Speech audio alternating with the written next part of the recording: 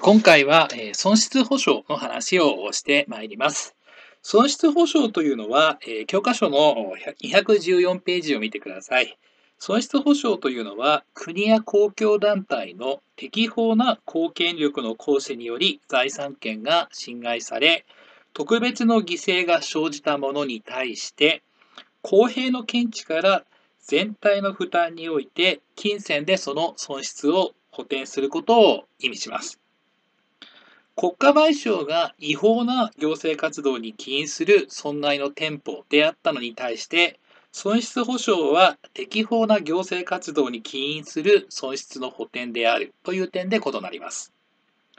で損失保証が要請される背景には、社会全体の利益のために特別の犠牲を払った者には、公平の観点からその損失を補填されるべきであるというえ考え方があります。まあ、公平の理念が根拠にあるということですね。さて、損失保証の憲法上の根拠とされているのが、憲法の29条3項です。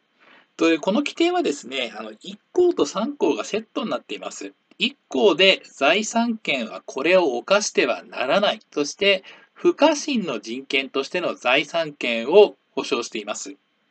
で、それに対して3項では、私有財産は正当な保障のもとに、これを公共のために用いることができる。としてですね、まあ、不可侵だ、不可侵だと言ってたじゃないかって話なんだけど、まあ、そうは言っても、土地などを収容しなきゃならない必要性というのはどうしても生じてきますから、そういう時はですね、正当なし保障と引き換えに、土地を収容することができるという規定になっているわけです。で、まあそうですよね。財産権がいかなる局面においても例外なく不可侵であるならば、権利者の同意がない限り財産を収容することは認められないということになり、前もお話をした通り、鉄道とか道路のようにですね、どうしても一直線に通さなければならない、インフラ設備というものが、えー整備できなくなると、そういったようなことになってまいります。どうしても国民の土地や家屋などを大切な財産をその意に反して収容しなければならない局面というのが出てくるわけでして、そうした局面を想定して置かれているのが憲法29条3項であるということです。で、まあ、その大切な財産を収容されてしまう人に対しては、一般公共の利益のために特別な財産的犠牲を払ったものとして、まあ、税金を原資とする国家財政から、え保障を受けられるという、そういう規定になっています。で、まあ、なんか行政法の2になってから全くレジュメを使ってませんけれど、久しぶりにまあレジュメで、まあレジュメじゃなくても別にいいんですが、48ページに土地収容法の規定を掲げておきました。えー土地収容法の68条では、えー土地を収容しまたは使用することによって土地所有者及び関係人が受ける損失は企業者が保証しなければならないという規定を定めています。で70条で損失の保証は金銭をもって、えーするものとすると書いてあります。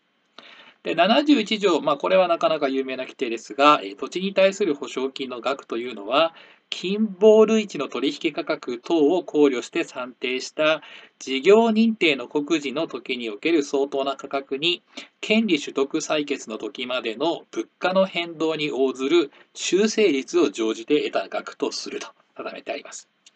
まあ、あとは残地保証とか工事の費用の保証とかですね、溝かき保証ですね。そういったようなものについても規定が置かれています。まああとは消防法の29条3項なんていうものも、えー有名な規定です。これは後でえー触れることといたします。さて、えー続いてはあ教科書215ページの括弧絵というところです。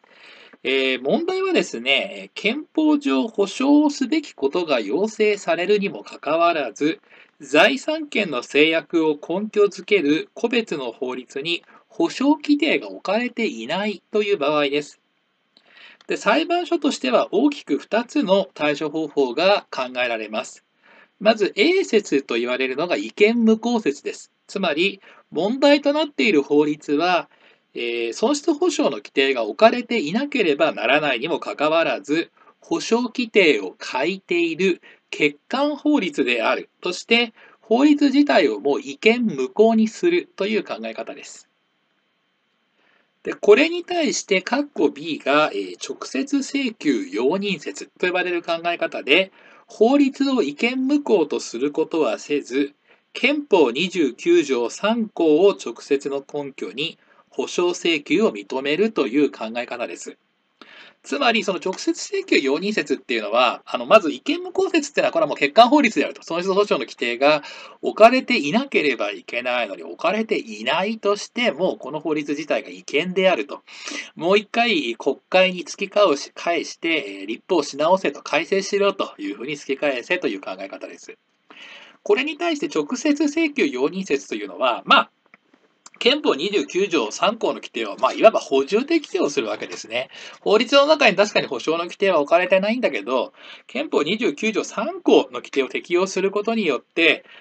だって足りないのは損失保障だけじゃないと。だから憲法29条3項の規定を直接に適用して、まあ、裁判官がその事件ごとに、えー、損失保障の請求を、まあ、あの、算定額を認めれば、それで済むじゃないかという考え方が、直接請求容認説という考え方です。でこのことが、えー、問題となったのが、有名な名取川砂利採取事件です。まあなんか名取川ってのはね、私の実家から北に、まあ、20キロぐらい、そうですね、離れたところで、えー、流れている川ですけれども、まあ、うちの父親なんかに言わせると、昔はうちの実家の脇を流れてる阿武隈川とかね、あのなんか砂利採取ってのは昔は結構よくやってたみたいです。ただ砂利採取をやるとですね、まあ簡単に言うとあの堤防の中のあの春節とかですね、あのそういったようなものにちょっと、えー、影響を与えるので、まあ、あの河川の保全という意味ではですね、あまり好ましくないということで、好き勝手に砂利採取はするなということで、えー、河川付近地制限令という法律が、えー、制定されました。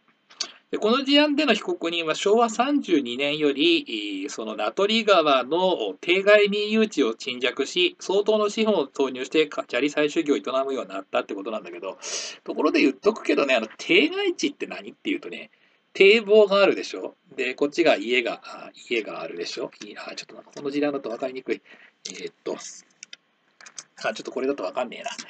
えー、っと、ちょっとよくないね。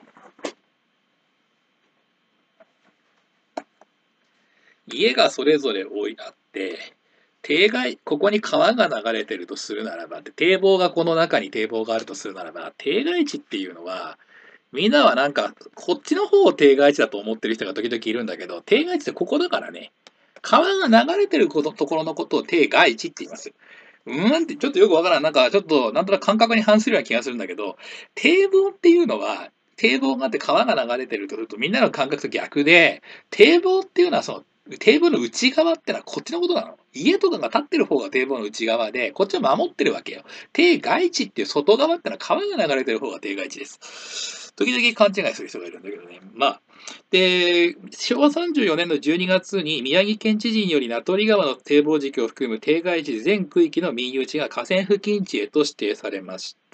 したがって被告人の砂利採取等の行為も河川付近地制限で4条2項の、えー、河川付近の土地等の掘削その他土地の形状の変更に該当するものとして知事の許可を要することとなったと。無許可で掘削しちゃいけませんよと。砂利採取しちゃいけませんよっていう話です。まあしかし、この被告人さん、なんかどういうわけか、まあ、許可申請を拒否されてしまったということになりました。ということで、この被告人さん、適法に砂利採取を続けることはできなくなってしまったんですが、でもまあ、この人にとってみれば、それまでね、相当の投下資本を、えー行っているわけで、相当の資本を投入しているわけで、ここで砂利採取ができなくなってしまったら大損であるということで、まあ、あの、無許可で、えー、砂利採取を続けたため、えー、河川付近地制限で10条に基づき起訴されたと、そういう事案でございます。で、被告人はこういうふうに主張しています。まあ、その、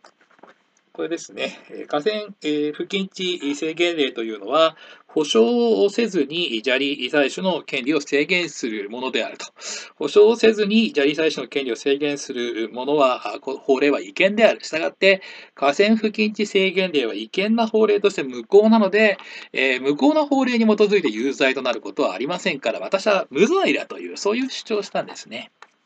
でこれに対して最高裁大法廷の昭和43年11月27日の判決はこんなふうに言っています。砂利採取が禁止されることにより生じる損失は保証の対象となり得るけれども、直接憲法29条3項を根拠として保証請求をする余地が全くないわけではないから、損失保証の規定を置いていない河川不近地制限令は違憲無効ではないとしたわけです。つまり最高裁は直接請求容認説を採用したということになります。なお、216ページに移らせてもらいますけれども、あのこの請求、損失保証の訴えというのをするということになれば、それはあのあれになります、あの広報上の当事者訴訟としての給付訴訟になります。まあ、すごい細かいことですけどね。さて、それでまあ結局河川付近地制限令は合憲であるということで、X は有罪であるということで、めでたしめでたしなのかなっていう、そういう話なんですが、ただですね、あの、財産に制約を加えられた人の立場から見れば、この直接請求容認説の方が好ましいようにも思えるのですが、ただ国の政策として、えあるいはその立法のあり方としてそれで良いかというのは一つの問題です。というのは、個別法に保障規定が置かれていないということは、立法者である国会が、つまり国民の代表である国会が、この事案においては、財産上の犠牲を払った人間に対する保障の規制規定は必要がないと考えて、あえて置かなかったということです。いや、そんなの置くの忘れたんじゃないですかねって言って、あ、絶対にありません、そんなことは。日本の法律の場合、絶対にありません。私も皆さんの学生ぐらいの頃はね、たまたまなんじゃねえとか思ってた時期もあったんですが、まあ、役所なんかで勤めてみたりとかですね、この業界で働いてみたりすると、こういう事案で損失保証の規定について検討されないなんてことは絶対ありえないです。損失保証の規定が置かれてないってことは、それはもう国会で十分に審議した結果、この事案では損失保証の規定が必要ないというふうに立法者が判断したっていうことなんです。で、まあ、言うまでもありません。損失保障の財源は国民から集めた税金です。だからこそ税金をどう使うかっていうのは国民の代表である国会が立法で決めなければいけないっていうことなんです。で、そう考えると、実は直接請求容認説って正しいのかなっていう疑問が生じてまいります。つまり、その直接請求容認説っていうのは、憲法29条3項に基づいて直接ね、損失保証が請求された事案において、裁判所がその事案ごとに、その、救済の必要性、まあ、河川付近地制限令なんてもそうだし、あとその額ですね、それについて判断を下すということなんだけれども、民主的なその基盤を持っていない裁判官がそんなことを決めていいんだろうかっていう問題が出てまいります。えー、結局ですね、その民主的なコントロールってことを考えるならば、違憲無効説のように、法律を違憲無効にしてですね、いわばボールを国会、裁判所から国会の手に投げ返して、で改めて国民の代表である国会の立法的な対応を求める方が、本当は筋なんではないかと、私なんかは思います。実はね、これ面白い、本当面白いのは、ドイツでもこの時期同じような判決があってね、しかもなぜかドイツでもやっぱりあの砂利採取の事件なんですよ。なんかどこの国でも、まあ、砂利採取ってのは工業用の資材ですからね、この手のなんか経済成長が、えー、著しい時期にやっぱり問題になるんですよ。で、ドイツではですね、実は違憲無効説が取られてるんです。だからこういうところを比較すると結構面白いんですね。